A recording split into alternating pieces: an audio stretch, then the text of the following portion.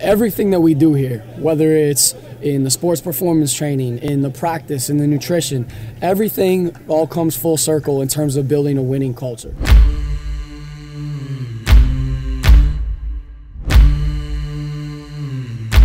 the way that we practice, we're trying to go above and beyond. We're trying to make sure that we're pushed, and that's where you know some of the GPS stuff really comes into play for us in our preparation.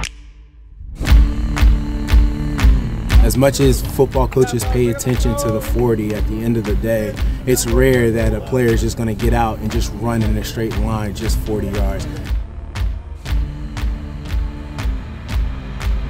We always say your number one asset is your availability. You have to be able to play on Saturdays. You're identifying something and you may see something, but the numbers will help back up the things that you're seeing who ran the fastest, who had the most high intensity yards. And that helps them buy in. It gets them excited about, you know, being on the leaderboard, saying, hey, I was the fastest guy on the team today.